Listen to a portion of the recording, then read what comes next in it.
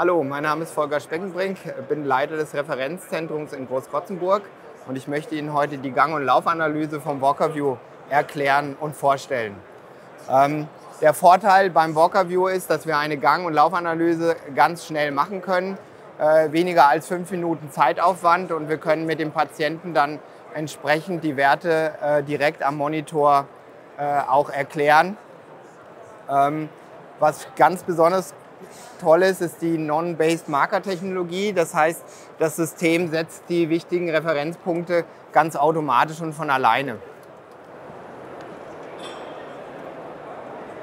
So, das System funktioniert ganz einfach. Ich lasse den Patienten ein bisschen laufen zur Eingewöhnung und drücke dann einfach auf Test Start.